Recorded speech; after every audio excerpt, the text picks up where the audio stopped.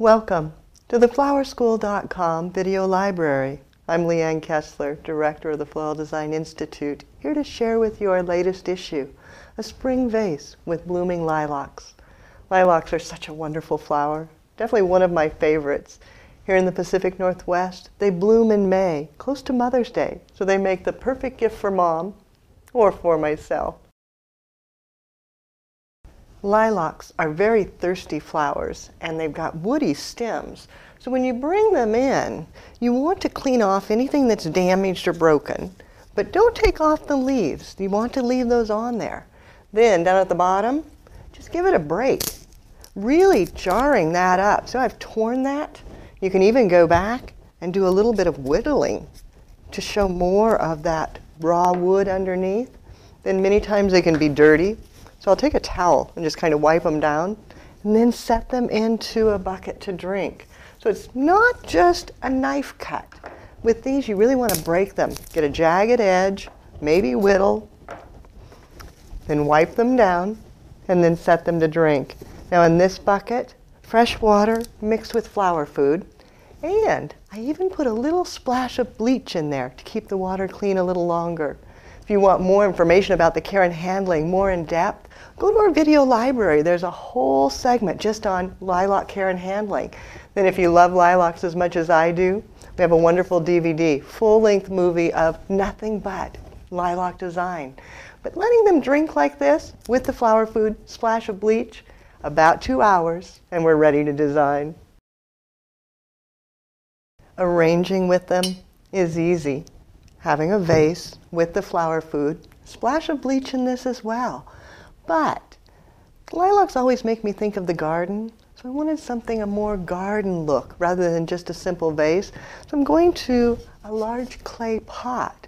Now obviously this isn't watertight, but it holds my vase just perfectly. Sliding it right down in. Planned that, didn't I? Now I can go ahead and just add my lilacs in. They've been drinking. I can go back and whittle a little bit, but since they're freshly broken, if they're the right length, I just set them right in. Got two different colors here, the deep purple and the lavender. Both of them, oh, so fragrant, absolutely fabulous. And I'm just feeding them in to a central binding point, letting the stems cross from one side of the vase over to the other, making sure they're down into the water well so that they'll drink. They're such a thirsty bloom. I don't want them to dry out. This one's a little bit long. There we go. Sliding it in. And going back with more of the deep purple, getting some color contrast. And then radiating from front to back so that it fills in the entire vessel. A vase of nothing but lilacs is fabulous but enhancing it with foliage. Three different kinds, Leanne's rule, just makes it even more fabulous. Maybe a bit of ruscus, giving it a cut, and then dropping it in in that same radial format. Maybe even some large aspidistra leaves. They'll give it a nice contrast in scale, but to make them a little drapier, I just run my knife along the back side. I'm using the back side of the knife, not the sharp side, and the back side of the leaf then give it a cut. You know, it drapes a little more. It'll help it come over the edge of the pot. Give a little more character to it. Repeat that.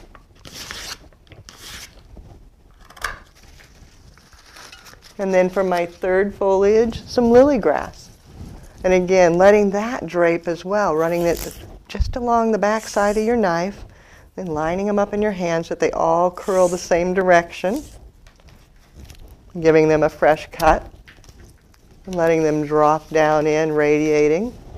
And then repeat that with more so you get a little bit of each foliage all the way around, filling in. Then you can always go back and add a few more lilacs as well.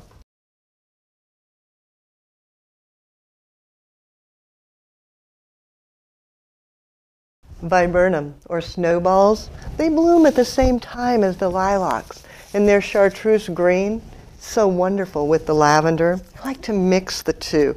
They also have a very woody stem that just needs to be broken or whittled depending on how green it is. But you want to get that bare wood showing and then drop it in.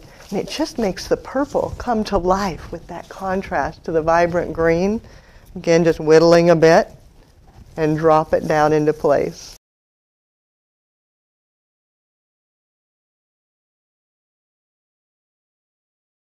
Barked wire from the Oasis Company is a wonderful way to finish this off with a little bit of detail, still reminiscent of the garden.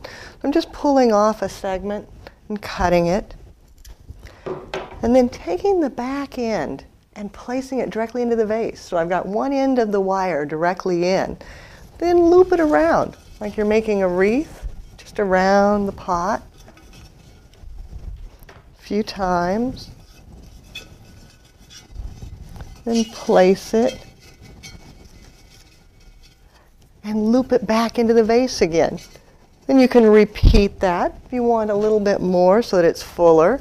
I like to do it in multiple pieces so you don't have to worry about trying to pull it around the vase so many times. So again, just taking the end, setting it in the vase in the back. It'll just hold it into place, then looping around. And then when you get to the back again, sticking it back into the vase and pulling it taut. Adjusting, making sure I don't have any leaves caught in there. There we go. Then locking it. Then I took just an old ugly leaf that I had. It was just some leftover silk foliage. But if you look closely, it's supposed to be a philodendron, but it looks like the leaves of a lilac. So I'm going to just cut a few of them off. I don't want the whole branch, I just want some individual leaves.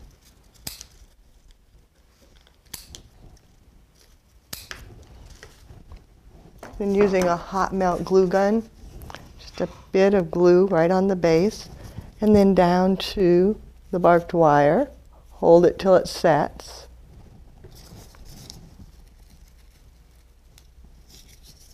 And repeat that. A little bit of glue. Maybe putting the two together.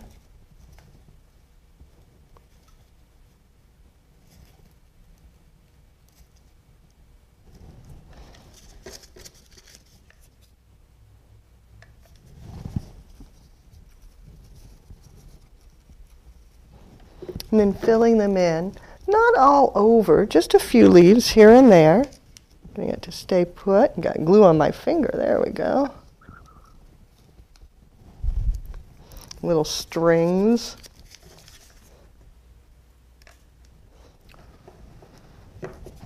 Be coming around towards the front, down at the bottom.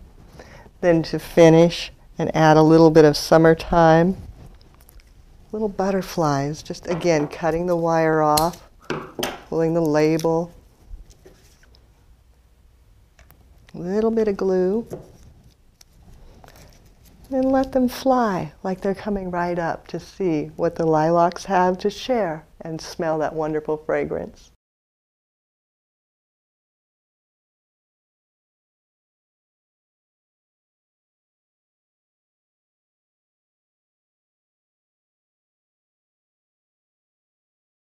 Lilacs in a vase like this can last three days, to six or seven days. It varies greatly based on the variety of lilac. Most important though is that a vase like this has a limited amount of water and this is a lot of lilac stems and they drink quite a bit of water. So you're going to want to refill this vase every other day or so with more fresh water mixed with flower food. Otherwise, one day they may drink it all down to where they start to fade just because they're thirsty. For more creative inspiration and more fun with lilacs, check out our website at flowerschool.com. If you've got questions, thoughts, you wonder what I was thinking about this, that, or the other thing, don't hesitate to contact us. You can reach us through the website or pick up the telephone and give us a call at 1 800 819 8089. It's easier to use email, maybe we're on different time zones, maybe you're in a different part of the world, feel free to use my personal email. It's Leanne, L-E-A-N-N-E, at floraldesigninstitute.com. For now, happy lilac time. Have fun and do something you love.